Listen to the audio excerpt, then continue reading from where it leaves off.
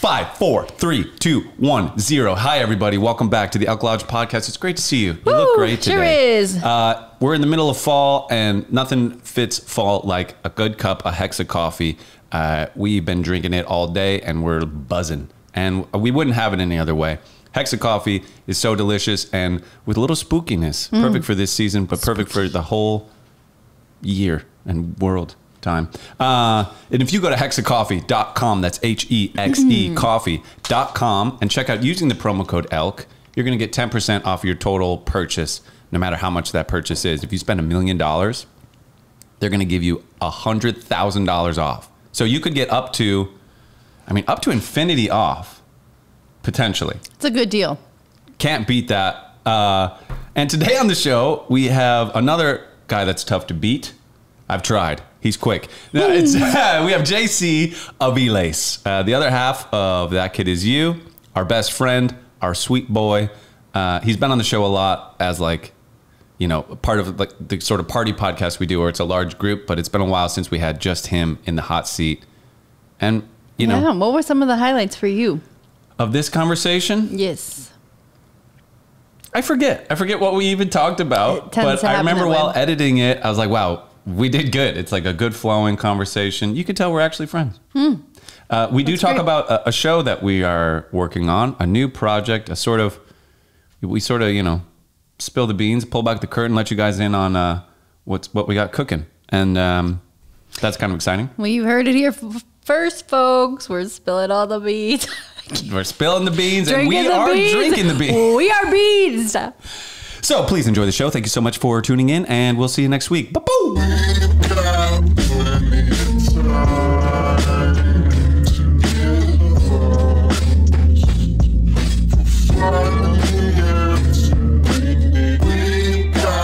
Good move.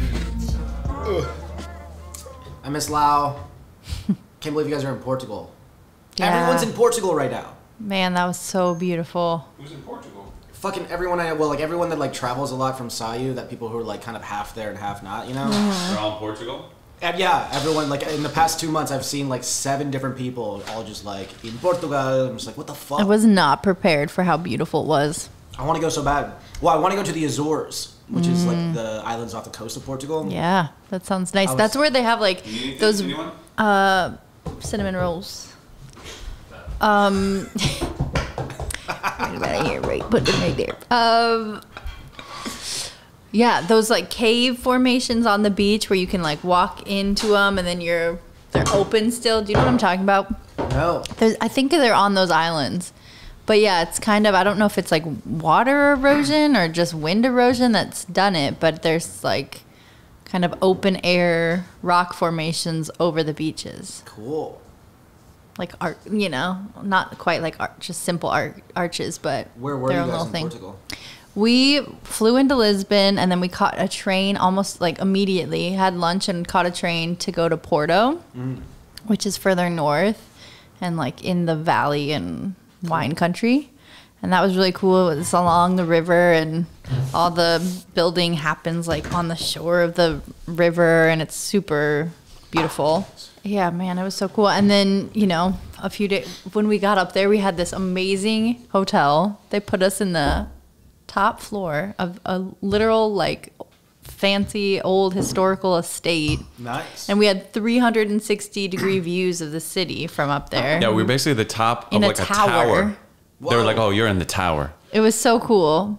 Really cool. And that place Yeah. was like so fancy and old. It was um God, what did he say? I think an old textile textile A famous, a man rich, who made his riches on textiles. He built it just to like flex. Yeah. He built it for when he was in town. He would just host meetings there, like come to my place for a meeting. And to entice people to come from like Italy, you know, get people out of Venice or what was the Yeah, Rome, I guess was the fashion capital of Italy, wherever it was, like getting people to come see him. It would entice them with this And I like think- estate. I think there was some story that he like wouldn't let someone leave at one point without like signing like a deal. Like he like kidnapped somebody. Wasn't it something like that? I vaguely remember that. I more so remember the fact that it fell to the like property of the state because when he died, his I, I don't know if he just didn't make it clear in his will what was going to happen to it or or what, but his current wife, like, and the stepmother, essentially fought over the estate with the daughter, and mm. neither. It was like a stalemate. They both just lost. Interesting. And yeah, the property was taken over by the state, and I guess not open for anything for a long time, and then turned into a historic hotel. Cool. It was It so was neat. cool. Portugal's really cool. Like uh, Any ghosts? no ghosts. I don't think so. Wasn't ghosty. Uh, that place Not was a, it was a little dusty and ghosty. That town It in a fun certainly way. feels ghosty. It's like kind of foggy, kind of like. Fog pi- rolls piratey. in. Is it close? Was it close to the ocean, or was it? Yeah, it's like on a I mean, I th- yeah, it was Hmm. exactly. It wasn't. We were on like a river, so we weren't totally on the shore. yeah. When I think of Portugal at night, I think of werewolves for some reason. Is there like Porto, common you could lore with that? No. No, it's Just your own association with Yeah. uh, Portugal as werewolves. well, because you said Halloween earlier, like anything scary around here. So now my brain's in Halloween mode, and I'm just like, oh yeah, where would werewolves be? Probably Portugal at night. I see. I, I like everything is set in Transylvania in my mind. It's Oh, Transylvania, yeah. yeah, or like yeah, like a Slovenia or Romania, like some forest, or even the, you know, those. I have a funny story about that. I was there once because my, I, I think like me and my mom went to go see my stepdad, and, and uh, he was like in, doing some army training or some shit, like in Transylvania somewhere around there. But we went to Dracula's like uh, grave, supposedly it's like a historic thing, whatever. It's like a museum-y thing, and my only recollection of all of this this happened like in high school, um, and I remember like I was like heartbroken over some girl or some shit, but Classic. classic me, right? Classic. continue. So it's, it's classic me. But uh, I I remember listening. It was the first time I'd ever listened to um, uh, the Hotel California, and I was like, I heard it once, and I was like obsessed with it. And then went to like Dracula. I, I have this vivid memory of like seeing Dracula's grave, getting back in the car, and just playing that in my hmm. headphones. I had like my iPod or whatever, and I was like just playing the mm-hmm. Hotel California, and being like, this is such a terrifying song. Have you ever just listened to the words of that song? Yeah, I think you pointed it out, and then I listened to it again with another ear. It, it was darker than I realized. When people say spooky season, I'm like, play Hotel California. like that's like time to play that. And what's it? What's it saying? It's like you can come, but you can never leave. Yeah. or something like that. Yeah, and uh, uh, they try to kill it with the. th- there's like a. Let me look. I'll, I'll find the Pull up the lyrics to the Hotel Pull it up. California. It also has sort of just that vibe of like a time suck where it's sort of like Yeah. you come and you're like just that. you come for fun, but then all of a sudden You it's can 30 never- years later and you're that washed up person that's still doing the same old thing in California. Mm. For It's sure. like a it's like a I think that's the idea of the song, right? That like if California, the state itself, was a hotel, like it can get you. how it just Keeps eats people you. up and chews people out. Or chew- chews Eats them up, chews them out, chews it. It's like, listen here, you piece of shit. well, yeah, because the Eagles at that time were like uh, part of the Laurel Canyon kind of like second wave of the Oh, yeah, Laurel right. Canyon. They're from Laurel Canyon.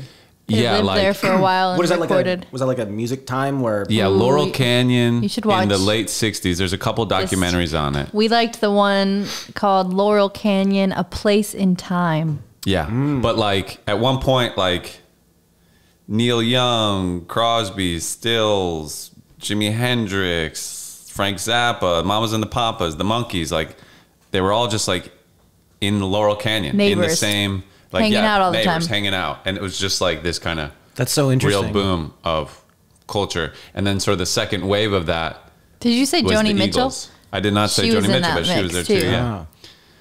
I haven't listened to a lot of Joni Mitchell. I need to like listen. She's like a fairy person. It's insane. Uh, so what are the lyrics? You have it pulled up? verse four, the last verse. Well, second to last verse is the scariest to me. Mirrors on the ceiling, the pink champagne on ice, and she said, "We are all just prisoners here of our own device." And in the master's chambers, they gathered for the feast. They stab it with their steely knives, but they just can't kill the beast. That's fucking terrifying. Yeah. Wow. It's like trapped It's in the mess the, uh, hall of uh, unlike you, you can't be like the unquenchable thirst Mm. that comes from living in California almost. Oh, true. You know, Yeah, like yeah. we're all here for something and we like that we're you know, we're drinking the something. king's champagne, but we just can't seem to get our finger on like what it is we're looking for. yeah. Well, and I feel like people, I mean, a lot of people flock to, I think, LA in particular, because they're like big time dreamers. And so there comes with a certain longing that comes from like pursuing dreams, chasing your dreams too. For sure. Right. You know, Nobody I- moved nobody's here like, with like a subtle sort of ambition. right. It's kind of like New York City in that way. Like people work themselves up to a move to the big city, like Mm-hmm. to New York, to like prove that they can make it. Right. It's there's so much riding on the lines all Mm-hmm. the time. Maybe that's Yeah. why the city's so heavy. I, I have this like uh, feeling every time I come to LA. Um, I'm like used to it now, but coming back and forth from Mexico, where it's just like it's heavy. Like there's like this energetic heaviness, and I've had conversations mm. with people about it before, and I've like my the only pattern that I've recognized, or at least that like my, my my theoretical brain thinks of, is that because we're in a place where a lot of people come to dream and like try to achieve things it's also like stressful because sometimes it doesn't happen. And there's just so mm-hmm. many dreams that don't come to fruition here and that's a lot of stress that's just existing and we're all we're all antennas i can sit in a room with you in silence i've never met you but i can feel what you feel like i Right. know if you're sad or happy i So can when you come to LA, that. you can just feel the sea of feel it. broken dreams washing over you. a little bit it's just like i'm just like a little Every waiter, every Uber driver, every like Postmates delivery person, like is a dream But- and it's- it's- failed. it- yeah and it's an interesting I mean, well, every video editor. I mean, you know, Everyone, I'm not. yeah. That's not my dream job either. You No, know, for like, sure. Yeah, yeah. Everybody came here with some. There's like there was a higher expectation. I have this sneaky suspicion though that's part of the design, right? That's like this is part of like this is my only conspiracy theory that I do like to take a like part of is that Are you sure this is the only one? that's the. What's the other ones? What? Last time you were here, you were saying like mountains or trees or something. Like you got all sorts of conspiracy I got okay, that was, that was TikTok. But okay, what's this one? But mountains could have been big trees anyway. uh, oh, just that that like um, well, just the way that the, the the nation was founded and like the way the the world has been for the past hundred years, whatever. That it's just like a couple families and banks that like kind of like made everything happen, whatever. Like figured things out. Juice. You can say it. I'm not gonna say that. I'm just kidding. I'm not gonna say that. You see what Kanye West is Oh, doing? we've the talked one about this. But but no no no like uh but also like it's a long con. Like if you think about it, it's like a fucking like I don't know. It's smart. It's like it's so to me it's like it'd be so incredibly smart back in the day to have the foresight to just like Well, there's your first fucking red flag. what. You think people are that smart and calculated? I don't trust people. I mean, much. there is an elite ruling class. Would you say so? Yeah. I don't feel like that's even conspiracy. That's just That's kind not of that's like just life. Yeah yeah. it's just life. You know? And, and well, Okay, the scariest okay. thing to me, I, I was having this conversation earlier or this week. That the, the scariest thing to me though is not the fact that there's like uh, people who are so rich they don't even know what to do with their money, but there's a, th- th- there's uh human beings that exist in this life that are so rich that they can afford anonymity. Like you will never know who they are or what they do. Like you you would Yeah. never know. And I would assume, um, just as human beings are, with that kind of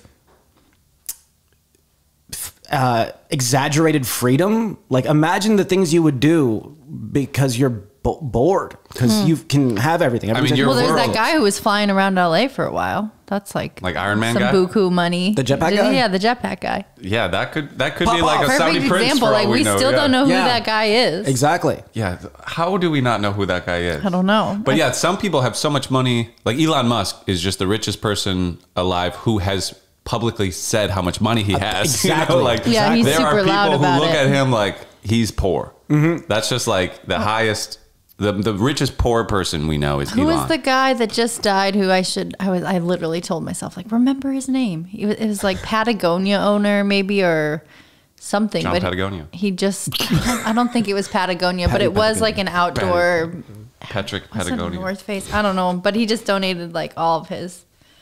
Oh, like his entire fortune? fortune when he died That's to like big. Fighting yeah. climate change, and it was super That's rad. And it's like you'll never know his name, but we will always be talking about Elon because he's the loudest guy in the room. Well, at least that guy did something good. I think most of these people, like a Saudi prince or something, and I'm like, that's kind of an uneducated, just like example. For sure. But like, Yeah, yeah.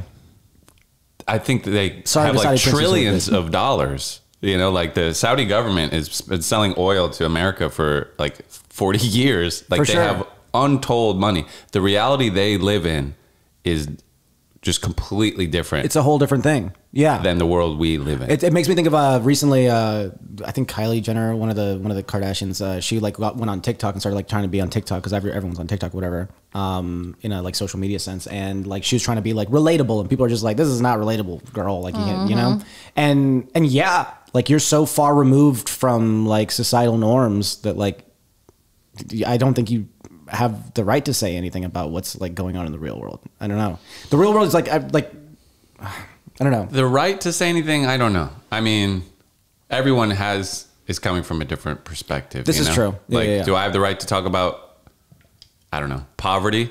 Like, I'm not in poverty. I'm Well, not I'll homeless. take I'll take my words back. Not the right to say, but it's definitely going to be scrutinized way more. right, or like the mm. perspective to give like an actual accurate sort of. Yeah, a thousand percent. Like it's, Yeah. it's kind of like a like a, a a soldier and a general having discussion about what the fuck to do. You know, it's like, Right. bro, you're not there. He's like, mm. well, I'm playing, but you know, Right. of course I'm not there. Yeah. You know, it's like, Right. yeah, yeah, mm. different perspectives. It reminds me too of that like sentiment I would always hear about, you know, when po- um, actors get into politics and they're like, they should just stick to acting. Like, they're not politicians. They don't know that world, so they shouldn't. that I shouldn't don't do it. agree with. No, I know. I don't agree with the know. like just shoot the basketball and like don't talk about. But you hear that. You hear All it's the time you still hear it's that. still around. Yeah. It's like but you don't shut say up that and to play. a plumber. Like, just plunge the toilet. Don't have an opinion on politics. Like, why can't an athlete? Their job is to shoot a basketball, but they're still gonna have opinions on politics, Yeah. just like you do. And I feel like Yeah, LeBron sure. LeBron James is like such a classic case of that. Like he just is refusing to not use his platform to speak his opinions. And I I used to like hate on LeBron, but over the years I'm like he's I don't know. I feel like he's well, is, being does he have true to cool himself. opinions? He was in Space Jam too. yeah. I mean he was in Space Jam too. He's got So- great opinions. so I don't know. Not the making the opinions. best calls. Though. I don't know. Yeah, I um, mean I I don't yeah, I mean, always I- agree with everything spot on he says or pay close that close attention to everything he says all the time. But I've had quite a few moments where he was like was commenting on political things, whether I mean that Mm-hmm. No, was like George Floyd or like from the Right. beginning Whoa. he's he's just been kind of making sure that he He doesn't, say nothing. Mm-hmm. doesn't doesn't get like trapped in the box that the NBA wants to put on people. But at the same time, to JC's point, I don't think it's fair to say like, "Shut up, LeBron. You're not allowed to have an opinion. Just shoot the No. basketball." But he has a lack of perspective. He's LeBron James. Like, so to say like, "Look, money." dude, that's easy for you to say. You have so much money, and your job is like playing the children's game. You know, like you're, you know." You're allowed don't to you say think it, that's but uh, probably people why- are allowed to say, like, dude, I'm not listening to you. You're a fucking basketball player. Yeah, but I could understand why he would feel obligated to to use his voice because it is easy for him to say because I he's not gonna have Big, and also you because know, he became crazy consequences. He became a big basketball player. Like he didn't. He, wasn't born a- Yeah, he wasn't yeah. born into. No, I Yeah. think like he silver, absolutely wasn't should. silver spooned. You know. Right. Mm-hmm. Yeah, yeah. Yeah, I think absolutely. I mean, it's uh, Colin Kaepernick is another great example. It's like The knee guy. the knee The guy, the guy guy. who just was going down. You know, yeah. No, honestly, shout out to him though, because like that, he lost a lot for such a simple act. Yeah, Like, his whole career was Yeah. just kind of you got to think about it. Homeboy Nose- was in his bag. Like he was like banking, and then Yeah. all I did was. Do you like, remember how take a dramatic everybody was? People were like throwing away their Nike gear and burning it. Joey was Joey like burned burning. his shit. I'm pretty well, sure we did my it for a boyfriend's I know, I know, video, but yeah, it's funny because Not. all he was saying was, "I'm against police brutality. My way of expressing that, I'm going to kneel while you guys all sing." It's a simple thing. Yeah, yeah. What's the big fucking deal? No, No, I it's mean, not even like he said like middle of the game like stop everybody stop i want to say something it's Yeah. like the game's not even happening everyone's just singing you're getting a fucking hot dog like you're drinking a beer like one guy's like texting For sure. and colin kaepernick is kneeling to just I because mean, this it's is an his way act of resistance, and that makes people inherently uncomfortable. To me, it felt like a bunch of people were just like, "Why is he telling on us? Like, stop snitching." oh my God. That's what it felt like. we want to do police brutality and Yeah. you're ruining it chill the fuck out, okay? it's like, not even fun to beat people up anymore Yeah, that's what it felt like. It's like, dude. Yeah, maybe. Well, but it's funny too. Like, and I mean, I'm not. This is not like my original thought, but nobody got mad when Tim Tebow would kneel for abortion. He would kneel after every game. Tebow would- kneeled for abortion. It's like the Tebow. It's called like the Tebow, like to like take a knee. Yeah, I think that's around the time I was like, But oh, like this guy's lame. Like pro abortion? No, against abortion. Oh. Pro life. Oh, he's okay. Yeah, yeah. He would take a knee for like I don't know Jesus or something, but he would Some take a knee. It was like his thing. At after or before every game, he would kneel to symbolize his expression of like what he thought was right or wrong in the world. Didn't Yeah. even know that. Nobody gave a shit. Didn't make a People fuss. No one celebrated made him. fu- It was like called like to Tebow. It was like chug a beer and then like do a Tebow, like take a knee. It was like a thing.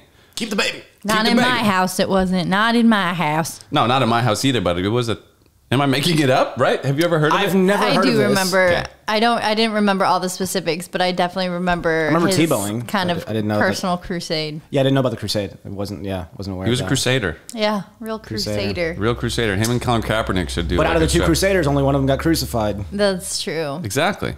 They did the same thing. Yeah. In this, uh, uh, for honestly, like the the subject matter being just as big as each other, right? I would say like abortion and like race, Yeah, like, so, and like, police brutality. Like I'm just I'm just saying like core- strong points to like Strong make. points, yeah. yeah. Core American issues right there. Yeah. I guess- Throw in um, gun gun violence, and we've got a good trifecta. Thank you. I guess people getting mad at Kaepernick was like it was during the national anthem, which like who gives a fuck? Also, Like we got to sing a song. Why do we have to sing a little song Yeah, I resent it. before we watch a bunch of adults play a children's game? Why do we have to do this big show of patriotism, America? Okay, now like go throw the ball to each other. Like, Also, what, what is so sacred about this also fucking stupid game? uh, update the song. Can we get Rihanna to make a song? I'm we gotta be over like, it. Don't pain me, man. I will It's like a sing 1920s hard if it fucking does- pro uh, uh, recession era song that I gotta fucking sing. I don't want to hear it under That's like a military thing. Under God too. I don't know. We a- are. I, I want that out. Take it I don't out. think there's under God in the anthem. Oh well, the is that just the pledge? I'm The pledge has the under God thing. I think- no. The national anthem bombs bursting has in there. yeah, it has references Gave to through- God too. I'm pretty sure. sure? It's also a violent song. I need to look those lyrics up Bombs now. bursting in it. I'm pretty Came sure through there's through like the night. I godly. mean, it's triumphant, but it's well, the guy also- was the war guy who wrote it was like on a boat listening to war outside the boat. So he just decided to pen a bop. In He the penned a of war. bop, dude. Yeah, middle, yeah. It was like, I'm gonna make a song. it was like freshy. Time for a freshie, huh, guys? Like, hey, Francis, can you like pick up a fucking pitchfork or something? Toss me the quill. Yeah, yeah, exactly. No, oh. I'm creating. It's like, well, thanks, thanks a lot, buddy. Big help. You're really helping. Ah. Make sure you write down what what a big help you are. We should make a TV show that's like Seinfeld, but it's about his life and about him writing the song and then like pitching it. It's like three seasons of him trying to pitch He's it. just trying to get He's it like, to it's- happen. This is going to be America's song. He's like, You yeah. guys have no idea. And he Y'all has to like have an he has to take a boat to all the different cities to take the meetings. Like eventually dies from scurry, scurvy, Scurvy? scurvy. Didn't Joey have There's an in scurvy? there. No, no, Joey. Did he have scurvy? No, what was it? Scabies. the way I remembered it was to think like scabies couch. There was a couch because Joey had scabies, and then he was like, "I probably got it from the couch."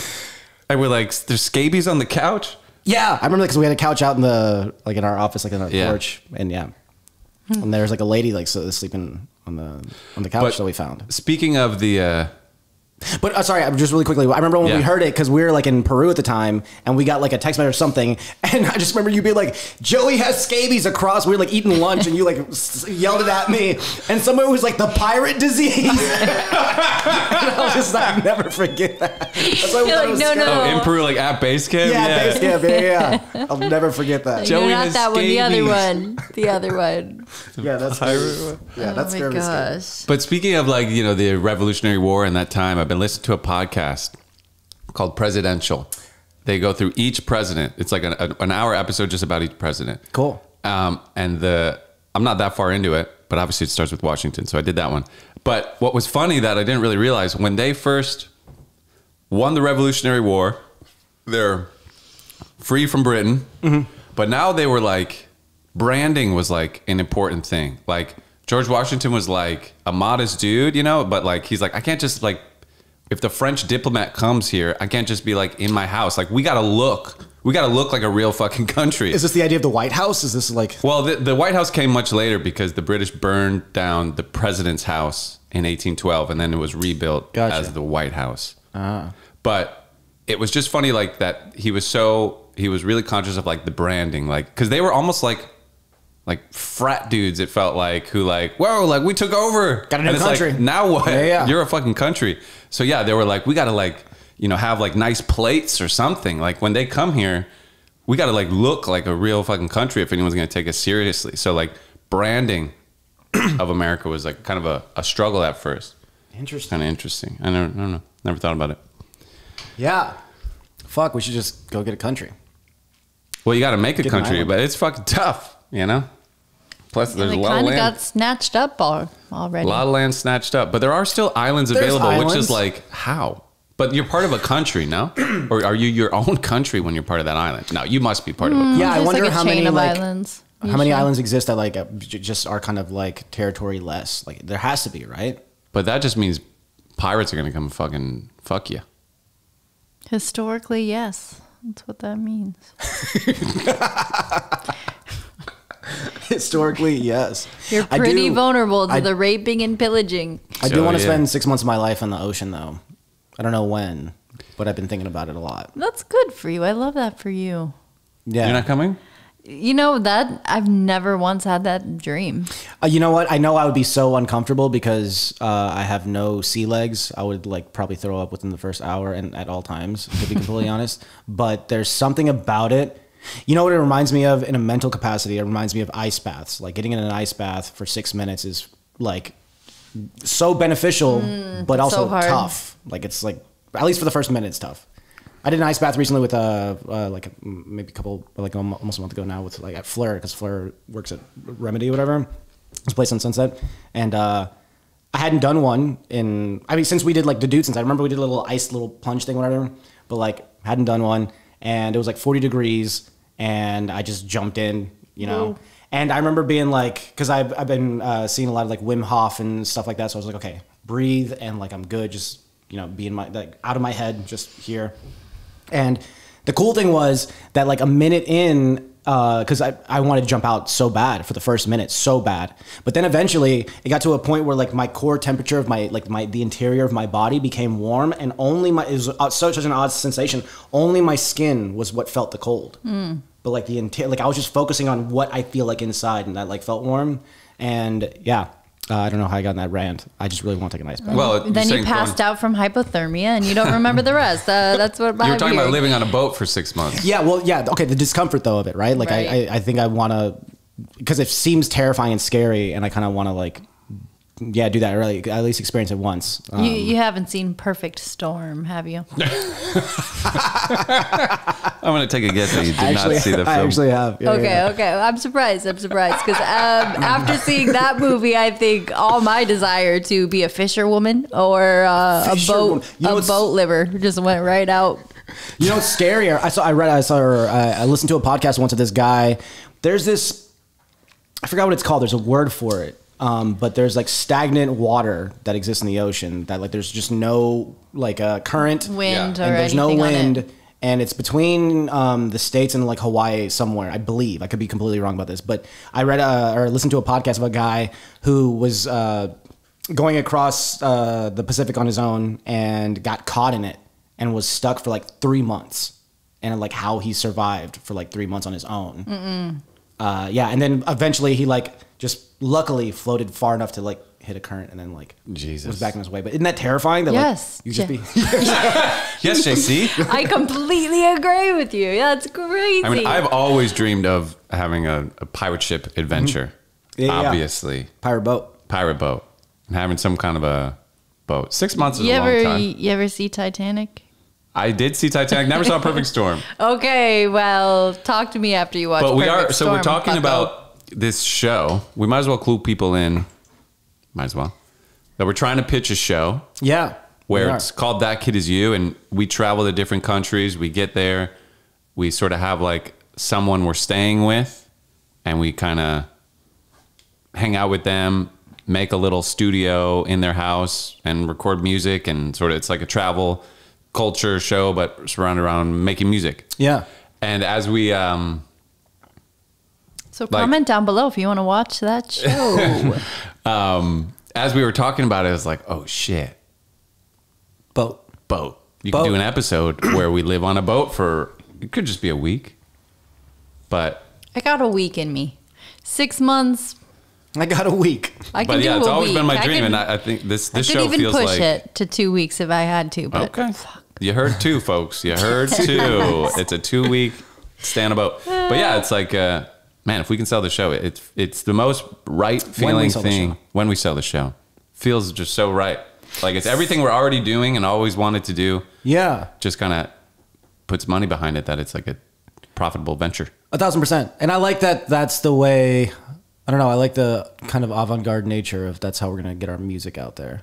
Um, because it's and not to say it's hard. Like I, we just gotta like you know put our best foot forward and just like put the fucking time into like just posting all the fucking time, really. But at the same time, there's something cool about like, yeah, I heard of these guys because of the show. You mm-hmm. know, Right. Like, there's something cool about that that I really like, and I, I, I, I yeah, that's why I like it so Well, I think it's cool too because I can't. I mean, I can't think of maybe food, but food and you know music. They're these things that just kind of bridge gaps, like are cross cultural, right? Like they cut between all these things. Like you can't speak the same language, but you can still hear a same song and feel the same response to it. You know, it's like such a beautiful thing. And you guys, in general, I think do a really good job corralling people and inviting people into your process and like getting people to participate. So I think it makes sense that mm-hmm. you got these fresh faces in there and get to kind of help them Yeah. take their guards down, open up, make music, and I don't know, it seems really lovely. It'll be Queer Eye Chef's Table. It'll be great. A little bit. I We are like at that. Chef's Tale. So you guys Chef's- mentioned Fleur. Fleur is helping Fleur. you kind of pitch the show a little bit. How how did you guys meet? I forget. She's How- one of your friends, isn't she? yeah, I met Fleur. Um, this is uh, we were talking about this last night. Actually, there's like a random assortment of things happened. Um, five or six years ago, John Mason was in New Zealand and was on a hiking trail and met AJ randomly. So they met, and then flash forward to now. I That's met. her boyfriend. Uh, no, No. Uh, AJ came here uh, once. shoot. You didn't meet him. He's very attractive. Oh, thank God I he, didn't meet him. He I sang a like song snot. that you that I showed you his song, and you were like, "Oh wow, it's so okay, good." I do Yeah, remember his AJ. voice. Yeah, yeah. and uh, AJ came to Sayulita, um, and that's when I met John because AJ was shooting his music video. And anyway, met John. So flash forward to like a two, maybe like a month and a half ago, two months, and uh, AJ had gone down to Sayulita. Well, I was gone to like visit, and and uh, he was dating this girl who happens to be Fleur's best friend. And the girl was just like, "Hey, yeah," or well, one of Fleur's good friends. Anyway, she was like, "Yeah, Fleur, you should come down to Sayulita." So like, Fleur went down to Sayulita to like visit, and they're like, "Also, you should meet John and Janelyn because John and Janelyn were dating at the time." And they tried to like meet up. And anyway, I just remember like one day I came home and uh, Janelyn was like, "Hey, do you want to go to like dinner in San Pancho tonight?" And I was like, "Yeah, sure, why not?" Go to San Pancho, and yeah, Fleur, Fleur's there. And it was funny because uh, we were at like dinner at this vegan place or uh, yeah, vegetarian place, whatever. And I, was, I remember both of us were like, "Do you guys serve alcohol? Is there like beer or anything here?" And they're like, "Oh no, we don't have that, whatever." And I was like, "Okay, cool, noted." And then and then there's Noted. I will never be back here again. and then but then like uh just an awkward moment happened like they're like we're all having conversation like an awkward moment happened with certain like parties and and we looked at each other and we're like do you want to go to the liquor store right now and just grab a beer and we was like yeah and then me and Fleur walked off and like grabbed a beer uh and some mezcal and then or like took a shot at the bar or whatever And that was back. like a bonding. That was the bonding. that was moment. yeah that's when I was like oh you're rad like you're super cool but that's how we like bonded first yeah and yeah. is she like in the industry? Yeah, Fleur used to uh, still acts. She's she's an amazing actress. She used to act a lot in uh, New Zealand. She produces a lot. Uh, she's just rad and like does a lot of cool things. Um, yeah, and I remember, I remember like uh, she's the first person that ever like told me something that like really, really made me think about it because she was like, I was like, oh yeah. She's like, what do you want to do? And I was like, well, I make music, but I want to like also direct. You know, that's like I'm I edited for a long time, but I really want to direct. And she's like, if I gave you a million dollars right now, what story would you tell? And I was like fuck what story would i tell and i like pitched some thing that i like liked in my head but it really got me thinking like what what is the story that i want to like tell yeah And- like your story, or like what film would you make, sort of? yeah what film would i make and also like what's yeah like what story do am i it made Or me like think what's of like the takeaway from that story? Exactly, That you yeah. would tell. Yeah. yeah the story I know, I know that I know the story that I would tell too would be the the the not them era of my life it Hmm. would be that story and and I think so I think so because um, it's a story of of failure and I feel like that story's not told enough because it's a very necessary thing. Like usually I don't know failure or like especially grand failure i think leads to greater successes. And I, and i just i don't know it, i used to think about that point in my life like ah didn't didn't do the thing that i want to do. I, I feel so bad about it but later on in life now i'm like so grateful for it because it prepared me for um and isn't that what luck is right the luck is the idea that like uh like you're prepared for a situation that arises whatever like there's a term for it When preparation meets opportunity. Exactly. Yeah, yeah. But but uh, I I would ne- never been prepared for any of the things that I've been experiencing in my life in the past like five years if it wasn't for all of the failure that I um so drunkenly muddled myself through whenever I was younger. Well, and like, had imagine if you guys would have succeeded, you'd have blown up, you'd have been the biggest thing ever. But maybe like you weren't ready for We'd that. Maybe yeah, maybe we'd all be dead. Maybe you'd be like some I've drunk about this. asshole. Maybe like yeah, I've thought about this too. Because like Yeah. when I was a kid, I was like, oh, I'm gonna be famous when I'm like 13, you know, or whatever. Yeah, and it's like. sure. Imagine if that would have fucking happened. If I was like Justin Bieber or something, which I wanted to be. I, Justin Bieber wasn't a person, but I wanted to be like the most famous, Yeah, like for sure. star. Imagine if I would have had that when I was like 15. Oh, you'd be a dick. By now, I'd be a dick. All my friends would hate me. I'd maybe be broke. I'd be like No, maybe same. dead. I mean, it's like Same. I'm so Yeah. glad I didn't. So okay, let's fill people in who don't know the not them era. I mean, what's the synopsis? You guys were kind of like, oh yeah, you, you, you tell it. Um, right out of well, during college, one of my uh, best friends uh, I met in college. His name's Nelson, and He's been on this show. Yeah, Nelson's been on the show. A, a, a, a strong performing episode as well. nice, Yeah. hell yeah. Uh, but yeah, me and Nelson. Um, I, I found out that he like rapped in like college or whatever, and then like we like we would freestyle together and hang out, and then eventually started like a rap group. Yeah, and then and it was funny too. Yeah, because I, I still remember like the day uh, we were hanging out with our friend AJ, and we were telling him how we want to start a rap group, and he's like, everybody's gonna look at you and be like, not them, and we're like, yeah, that's the name. Like that's that's what we're gonna call ourselves. But anyway, uh, after college, we were very stubborn and like refused to get jobs. Like just lived on girlfriends' couches and friends' couches for like almost a year straight. Um, and one of our uh, friends that we were in college with um, happened to like kind of he's like an angel investor basically. Just like made his own label and signed us. He like really believed in us. Um, and that's kind of how I met you, Paul. Like through all that stuff too, because we are like rapping a lot in Orlando. And Yeah, well, I mean, so you're the angel investor. He uh, put them in like a nice house. He started renting like a really nice house Yeah. In a nice neighborhood. It was called the Mansion. It was like, let's go to the Mansion. That was like the name of this house. literally a mansion. Yeah. And yeah, it was. It was like a beautiful mansion. But there was kind of all this hype and momentum Yeah. around you guys. It was like, oh shit. Like, uh, I mean, partially the, the brilliance of Reed getting that house, like, because it was such an image. It was. Like such a branding. Washington and the branding of America. Exactly, same exactly. shit, like dude. we got to look like we're Yeah, killing it. An, uh, an era officially started when Exactly, that, yeah. that key turned. yeah, for sure. And it also was. uh, It's funny too because like it, it changes you mentally. Like whenever you like have something like that, you're like in it, and you're like, man, what I got to do more to deserve this. I have to like, Mm. you know, which is ironic because we didn't.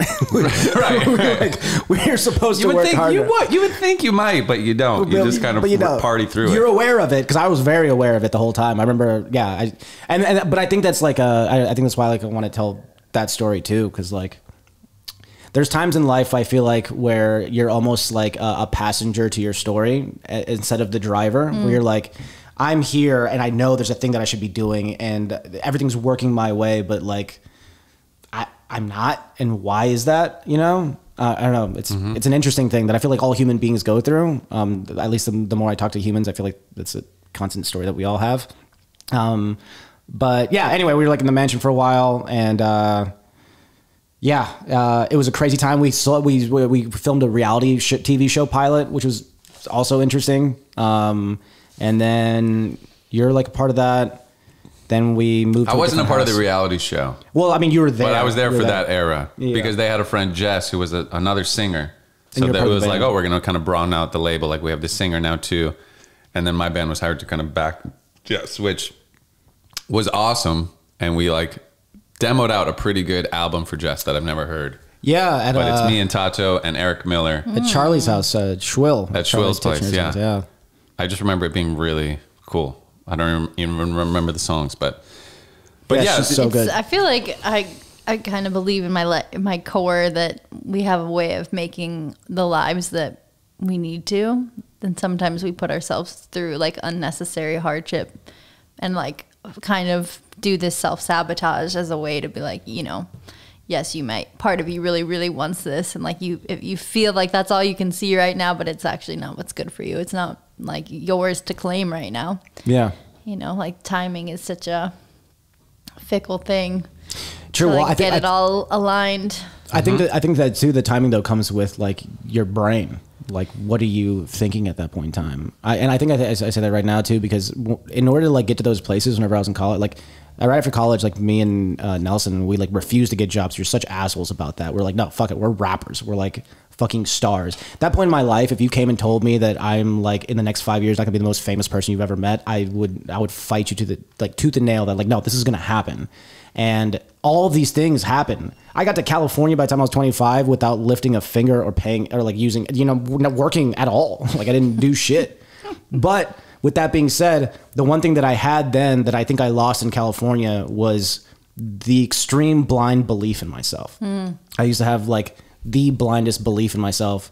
And whenever I got to California, because like Nelson got like into some things and like he's better now, but like got into some things and then everything kind of fell apart. And in that time, I was also a very codependent human being. So I thought that I needed other people in order to have inherent value as- in, as a human being. Uh, even though I knew I was like talented, uh, I just thought that I needed other people, you know? And um, yeah, it made me made me stop believing in myself. And I kind of did for like a little bit there. Even like in the Dudesons stuff, I remember I was like very deep in like not believing myself during that time. I don't think it was until uh, we started making music together again uh, that I was like, oh yeah, I forgot that I'm like I'm good at things, or or or at least not not to say that I I forgot who I was. Yeah, I, I this is a funny like sidebar, but I had this like spirit girl who like uh, I like talked to, and she like would tell me things of like the, you know the spiritual side if you want to believe in that or not. Um, but I do of like what they would wanted to tell me, and one of the things that she told me that I will never ever forget. And this is also a human being that I've only met once in my life for like we knew each other for like six months, like years ago, like almost ten years ago. But she said, "You need to remember that you're a leader." That's like all they want you to know. Like you need to remember that you're a leader. That's what the spirits were telling her. Spirits. to That's what your tell you. ancestors want you to know. Or my or my grandfather, because like the way she said like made it seem like my grandfather, who I love dearly, and he's the reason I am who I am. Mm-hmm. So, uh, yeah. So timing, yes, but also I think the timing comes with this, right? Like the Mm-hmm. Well, time that it takes to I mean, that's like get this regulated. what you were saying too about the autopilot, like not in control. I always I relate to that too. Of like, there's sometimes where you feel like you're going through life in this autopilot mode where you're like not fully present to it either, and so Mm. that's when like. I feel like shit can hit the fan, and that's when you got to step back and be like, okay, what's happening here? And like get back in the driver's seat, you know? Mm-hmm. Yeah. Yeah, it's like hard take to. inventory of what's going on and why you feel like you're outside looking in. For sure. Yeah, it's hard to know like when to when am I supposed to just like ride this wave? When am I supposed to like paddle and like get myself to somewhere else I'd rather be? When am I supposed to like make shit happen? When am I supposed to just let shit happen? It's like it, it- I love finding the- that is tough. I love the metaphor of the duck too, because they're like, yeah, above the water, these ducks look so calm and whatever, they're so smooth, but then underneath they're like kicking rapidly and they can't stop kicking because they're just like, they have so many little movements to get them to go, right? And mm-hmm. it's Yeah. just that idea of like, I don't know, so many of us takes a lot to like make sure we look good like things are going good on the surface right like you're mm. you're showing up for jobs you're doing all the responsibility things it's kind of i don't know it's easy to just get lost in it For sure. I find too that like it's an interesting thing too because like for me, what's been working the most in my life too is like the uh, idea of like letting go of things. You know, like you have you kind of like you build this idea of what things should be like and whatever the fuck, but like I feel like if you have the intention and you let go of um, the attachment to the thing that you're intending to do with your life, the more it comes to you. It's so it's uh, it's kind of like it's kind of like being in the wave and like knowing the wave's taking you somewhere, um, and just being like, yeah, I, I'm I'm gonna get there. It's it's all good. But I feel like when you focus on, fuck, I hope this wave is going the right way. That's when, that's when it starts. right, when you're because like you're oh, distracted, you're not actually just surfing it. Mm-hmm. Like you're thinking Yeah. about like, wait, is this the right wave? Should I have been on a different wave? It's like, oh, now you're gonna fall. A thousand it's percent. the same with dating too. Like the more somebody is interested in finding a partner and like a relationship, I feel like they'll almost in a way they become less Right. desirable because it's all they're just so fixated on fixated on it and it For becomes like a desperation thing Sure. versus like, you know what?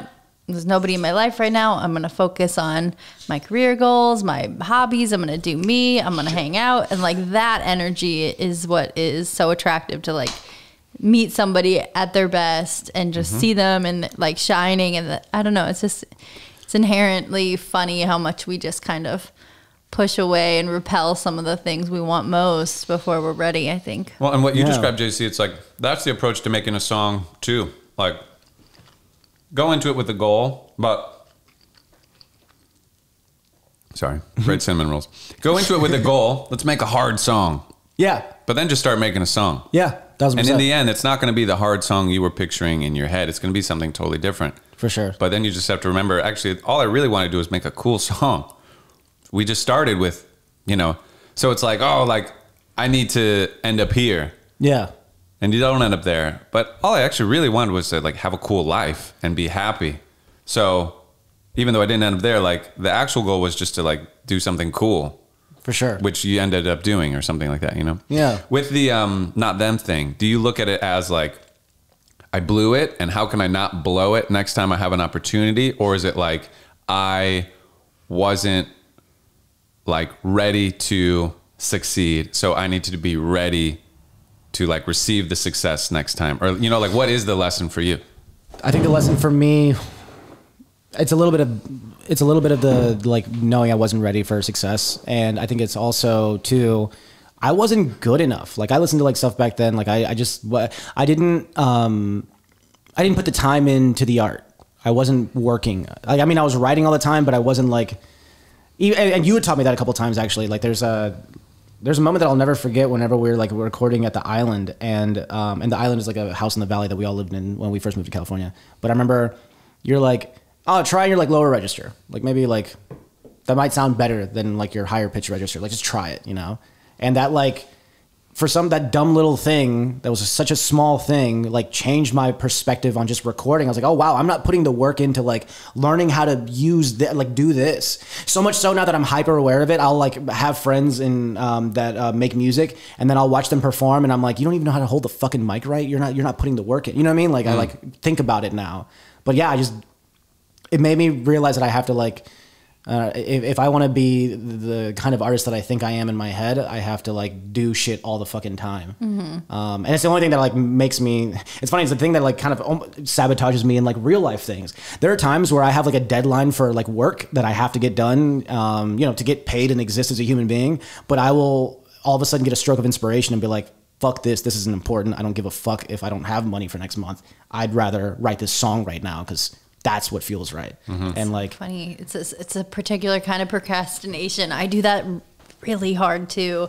You called me out actually the last time you were here because you're like, it was like so gentle, but you were just like, I was complaining about how I really should be working instead of making music and hanging out with you guys. And you're like, oh, are you that person that like needs to have a deadline or else you're not going to get it done? And I'm like, oh shit, I think I am. Like, I'm the same. I.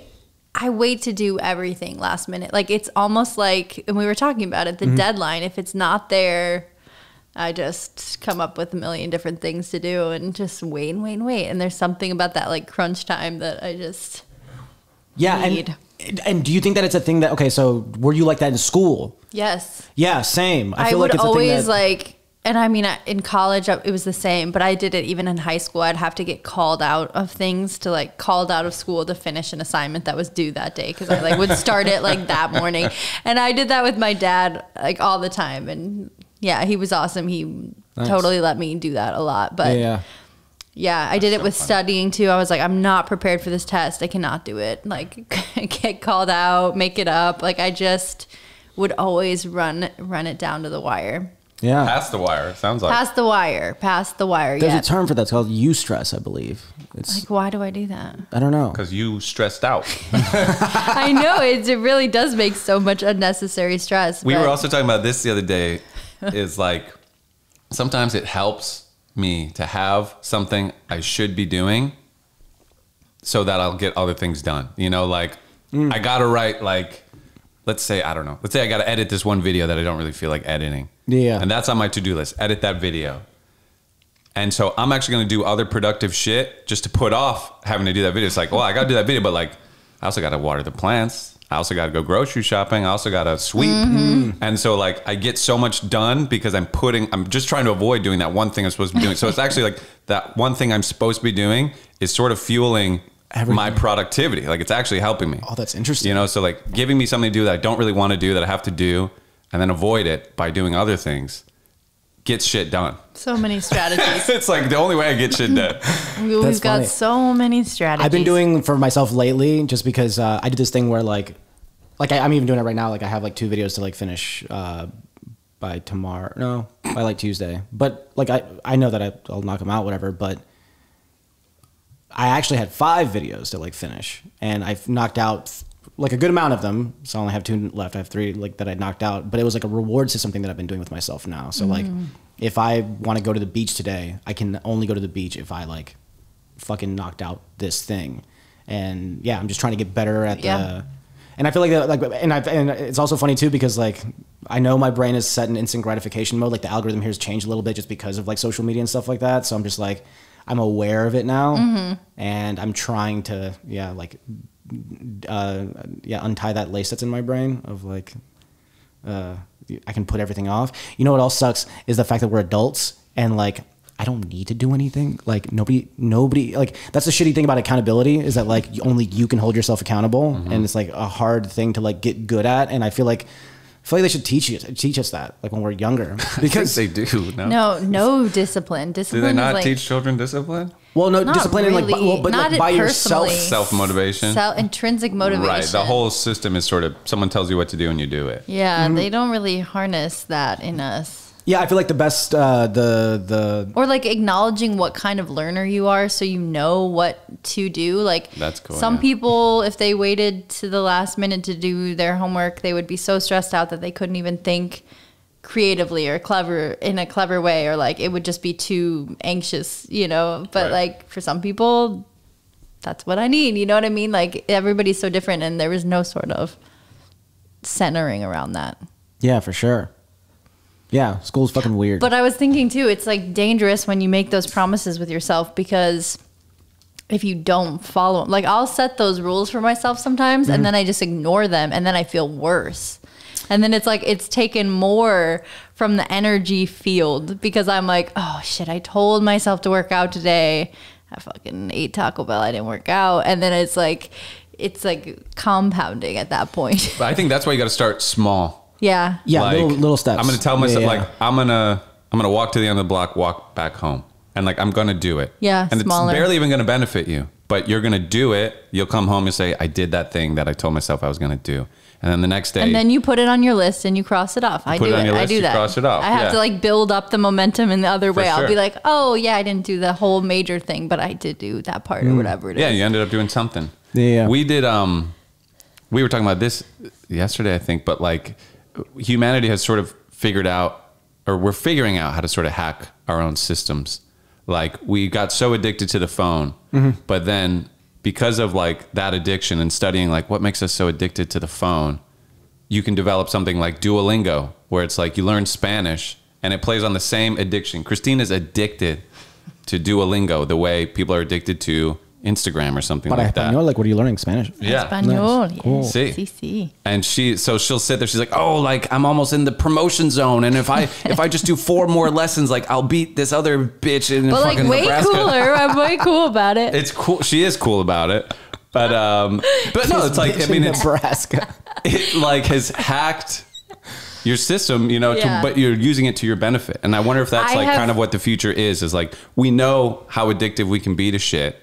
So how do we use that as like a tool? Yeah. To like get addicted to like learning music or making shit or It's so true. Like I have played that game now. I've pl- practiced Spanish like 187 days in a row. Whoa, right. I have not worked out 187 days in a row, even though mentally I want to be physically active as much as I want to learn Spanish. Mm-hmm. But it just hasn't happened. I haven't. got to get an app that gives you a streak. yeah, I know. Honestly, there probably is an app. No, I, I do that have. I have does walk the my same thing. run, which kind of does some of that. You can get into challenges and stuff, but uh, yeah, you're right. It has definitely catapulted me. I like the competition. And working out is kind of like the same as like the going on a boat for two weeks or uh, ice bath. It's like the the there's comfort after the discomfort. Like you just got to put yourself through the discomfort for a little Mm. It's bit, and then it's like so fucking beneficial. You're like, oh shit, just the starting. I forgot. Right. Like this. Yeah, is, once yeah, you start better, though, you know? it's like that positive loop that kicks in. Once you start, you have more energy and you like can keep it up. I just feel like for me it's always the stopping and going, and then it's so much energy to get back into it. Mm. You You have know- been on a good physical kick. Yeah, I've been doing. I've been doing good. I sort of hacked my system, Nice. and I just have a to do list, and I just a good thing to think about just as creatives at a table. I one thing that i've noticed pattern wise like from, from working out i can create way easier.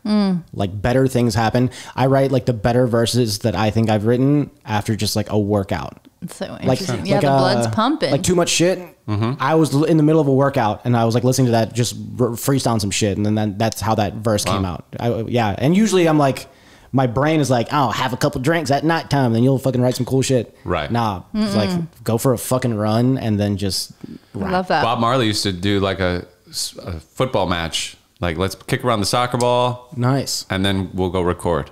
And it was like it's like now that like Let's we do have the- that the, next life in time. us. Yeah, we did that at Chibi's, Yeah, that's true. Fuck. and it really it was inspiring.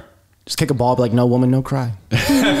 One um one way Beautiful. One way I've learned to hack my system, and that's helped me kind of keep up with um, my to do lists and things, is like I have to boil it down to just the simple start of it. So like I don't have to think about like oh I got to do like yoga. I got to do 20 minutes of yoga right now. I don't think of it like that. All I have to do is push play on a yoga with Adriene video. That's all I got to do. Push play. Once I push play, I know I'm going to set it down. I know I'm going to follow it. I'll do the yoga. all I have to motivate myself to do is push play. Or like when I used to go to the gym. Yeah, yeah. I don't have to think about, oh, I got to go to the gym now. I got to work out. All I got to do is put my shoes on and walk outside. Once I'm outside, I'm going to walk to the gym. Once I'm at the gym, I'm going to do something. Yeah. You know, it's like, I just try to boil it down to like, what's the simplest thing I actually need to motivate myself that to is do? useful. That starts the Because process. it's always starting. That's the hardest. Yeah. Yeah, it's just starting. start. Starting. Starting Like, just- the worst. Just push play on the YouTube video. That's all I have to do. Yeah. If I can motivate myself to do that, just so easy, the rest just kind of comes. Same of with cooking for me too. It's like mentally, it's such a hurdle. uh, You know, if I'm tired after work or something, to want to like come home and start the process. But then, yeah, once I just start, it's so easy to like relax into. You know, And then you make these beauties. And I make yeah, Yeah. I make yummy shit. But yeah, just think about what is the thing you actually have to. What's is it just like first I just have to put headphones on and listen to a show, or I just got to start pulling shit out of the fridge? If I pull shit out of the fridge, from I'm there that will create it. the vacuum that will produce food. You know, I like it. yeah. it's like what is that? Just what's that first thing you got to do? I feel like you are a big um like affirmation guy, mantra guy too. Has that been a saw you thing? Um like you're just so intentional too about how you frame things like you say like when we s- like when we sell the show and you chime in with like a- when No, or- I said if. He said when. right Yes. right right you guys were Yeah. there you remember Roll back the tape. Check the tape. Yeah. The the only thing I've ever written down in my entire life, uh, like uh, I just remember like I wanted to like make a certain amount of money, and I wrote it down when we were at the Encino house, and then I moved to Celia, and like a year later, like I literally get a call for like exactly that, like exactly Jim what I wanted. No, I'm, I'm, I'm yeah, it's so real. I, I, just, I, I- I can't stress it enough.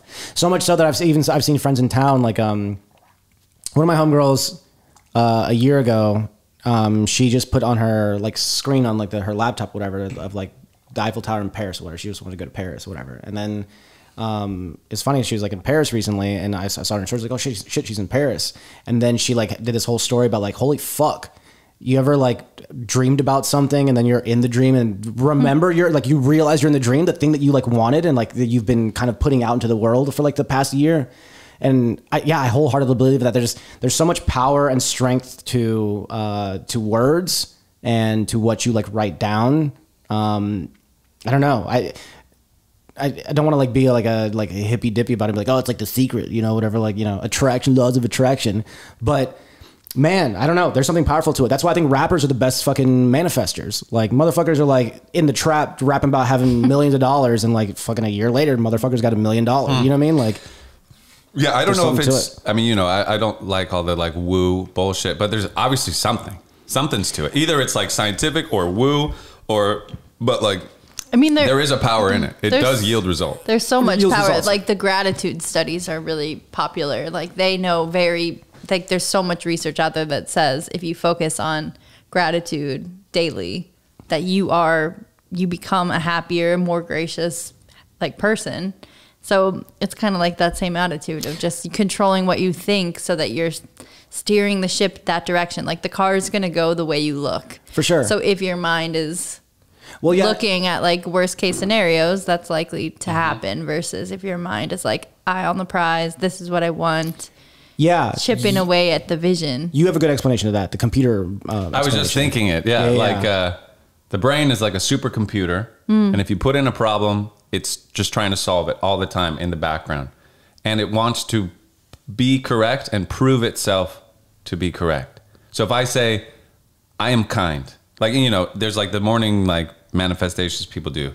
You say like, "I am kind," "I am generous," "I am a good friend," I'm a I'm a beautiful person or whatever you say this.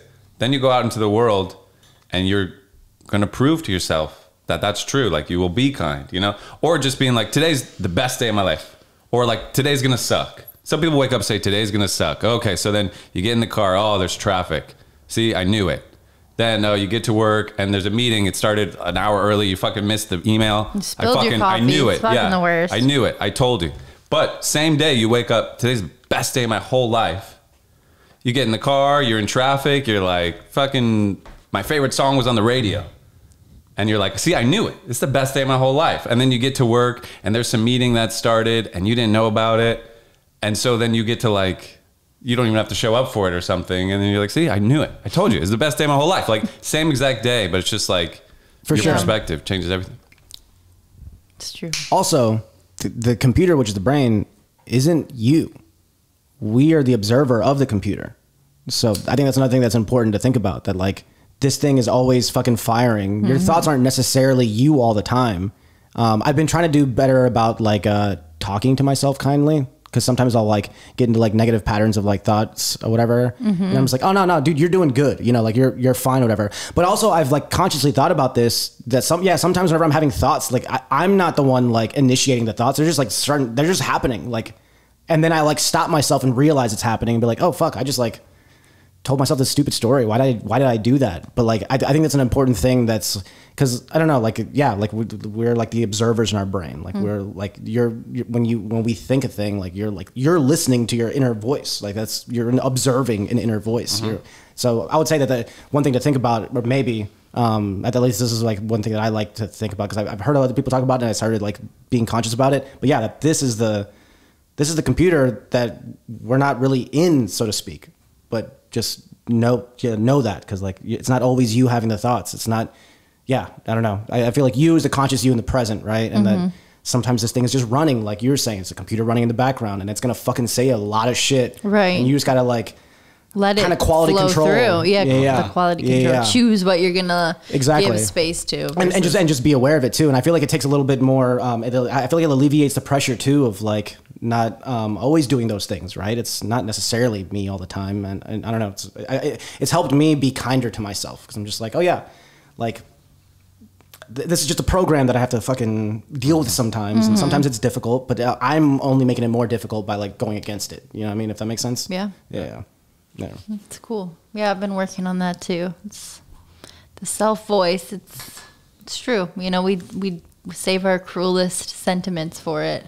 For And sure. I think that's like a shared universal practice. You know, like the voice, the things you say to yourself, you would never say to me, and Mm-hmm. you know, you just don't treat people you love the way you treat yourself. Sometimes Very true. It's like such a worthwhile pursuit to get that under. I feel like everyone would be extremely embarrassed brains? to have to have the their thoughts of the day in a transcript read out loud my to God, yeah. everyone around them.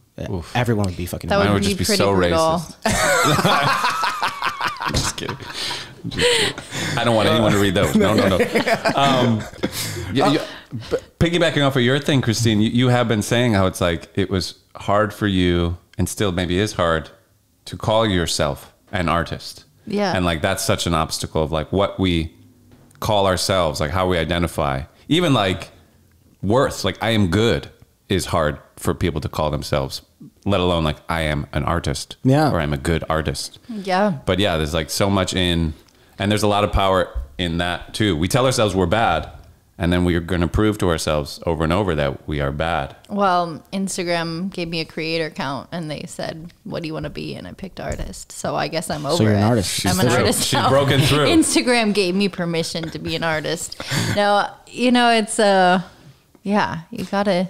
And with with that and piggybacking all all that. With Yeah. that being said, whenever like the like with the idea of intentions or like saying things out loud or like s- uh, thinking a certain way in your head, like we're all again energetic antennas, right? Like so, whatever that energy that you are putting out, that that kind of thing is like where you're steering your wave too, right? Uh, Maybe a year and a half ago in Sayu, I remember thinking consciously telling people like thinking like, okay, from now on, when people ask me what I do, I'm gonna be like, okay, rapper director. Like I don't want to edit anymore. I'm, I'm a fucking director. That's what I'm gonna do. then all of a sudden. I started getting like gigs to direct and like Also, we could shit. use some help. We have some music videos to make. It'd be great to get you. Would love to do that. We sure do. I would. Be really I fun would to have love you to do it. have you do it. A Modern Mystics music video? Yeah. Yeah. Oh be oh my god. I'm so down. I'm so down. I have my. I camera mean, with and me. then there's. I mean, we have our Oh, song shit. together, Thunderstorm I in know. My I was just thinking that that Yeah. could be a great place to start. I have start. an idea for that one. Remember? I don't remember it. Yeah. Fuck, it's somewhere in my head. In my... Man, well, we What got, was- oh. so many things to do. Oh, uh, because I wanted to do like a, you know, like the idea of like a, you know, like phone screens, whatever, and there's like mm-hmm. three screens, whatever, and it looks like it's like three different phones, whatever, and we're, you know, all singing in different places, like a like art directed differently, like colors and stuff like that.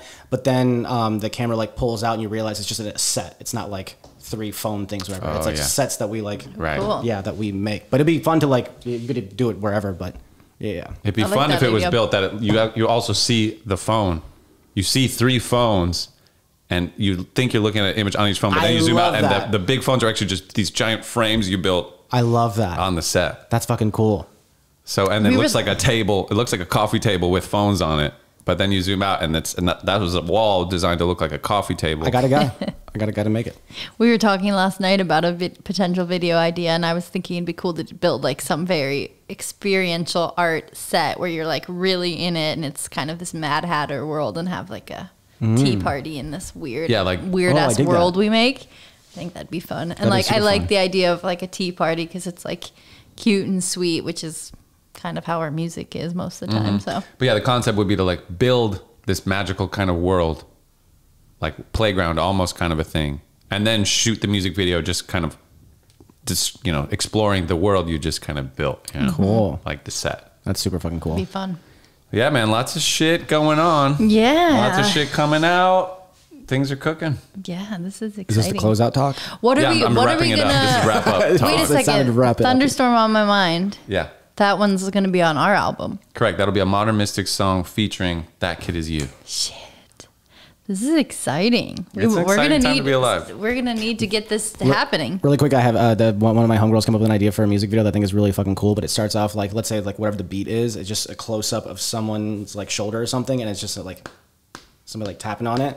But it'd be fun to play with like the amount of hands that pop up on someone playing the Hmm. thing, and like where it goes, and then like when it zooms out, it's just like a bunch of hands just like playing the beat. Whoa. and somebody- Funny. Like you could do so much with that. I kind of am picturing Really that cool. Christ furniture commercial where it's like you see everybody's the close-ups of everybody's hands, and then you zoom out and you're like, oh, that's what they're doing. That's they're all what's sitting in happening. this awesome lounge yeah, chair. Yeah, that's cool. That's gotten so many likes by Oh, humans. cool. Yeah, yeah, I'm. Oh yeah, it did well. That was human Yeah. approved. Well, not like a not like yeah, I just anyone that I've showed it, they're just like, oh, I'll be like, oh yeah, I direct, and then uh, or like, and I edit too, whatever. did Um, you did you edit all that?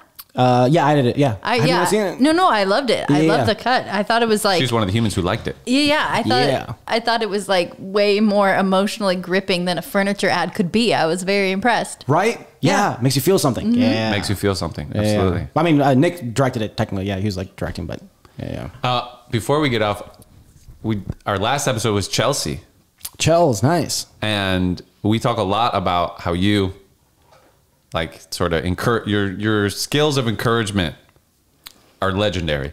But then also just you encouraging her to like them. freestyle and rap and do music. It's like a big part of why she's doing what she's doing. Her origin story. In case you don't listen to it, Which we know how much you like Marvel. You're part of the origin story, bud. you're the spire that bitter. That makes me so happy. It makes me so happy, especially from Chelsea, because Chelsea is one of the more like mo- actually most talented actresses I've seen. Like I've I've just seen like her in like three different things before, and she's a whole different human being in each one of those things. Gotta see it. We So gotta, I'm I've never Got some seen her in something. She's so fucking good. Like whenever, but whenever like I have friends who are like, yeah, I had this idea for a project or whatever, I'm just like, my friend Chelsea Lopez is like really good. You should like talk to her. Yeah, Sick. Fleur's really good too. Fleur and Chels are like good actors. Shit, we got ourselves a little Perks of career. living in LA. It may be heavy, but it's full of creative weirdos. A lot of good pretenders out here. A lot of A lot of good thinkers. pretenders. And like there is real beauty.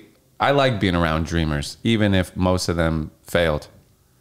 Like it's I'd rather be around dreamers than practical people who It's a just nice- were like it's a nice I energy. just went the safe route, you know, and I didn't fail. I just work at a cubicle and I'm miserable or whatever. You know, like uh, I, I'd rather be around the dreamers that failed than the People who people never who are afraid shot to their dream. shot. Yeah.